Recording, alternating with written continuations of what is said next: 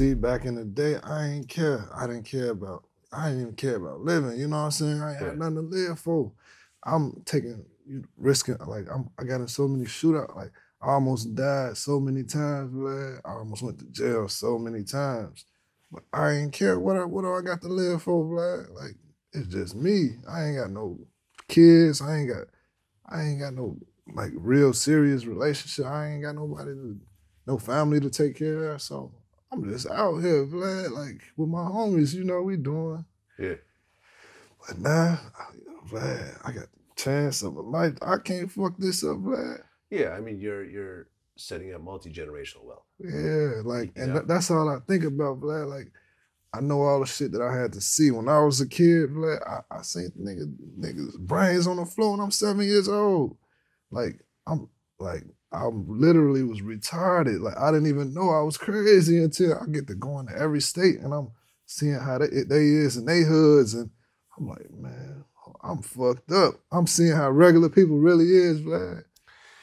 Yeah, but with that, and this is something that I think too many rappers have fallen victim to, is that they don't put that part of their life behind them. Oh yeah, You know what I mean? When you look at the situations, you know, with like, you know, most recently YFN Lucci, you look at Casanova two times, uh, you look at Rollo, you look at Arab, um, you know, you look at Boosie, who was sitting on death row at one point. Mhm. You know, Boosie said like you can't be a gangster and a rapper at the Yeah. same time. That those two things just do not work Vlad, together. I look at the shit like this, Vlad. I already did that shit, Vlad. What I'm, I ain't got nothing to prove to nobody. Nah.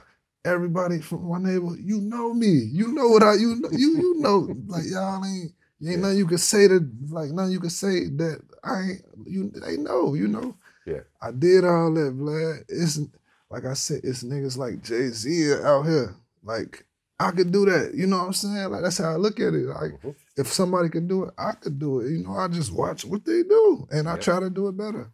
So and you've been doing it. Um, I, I ain't I ain't there yet.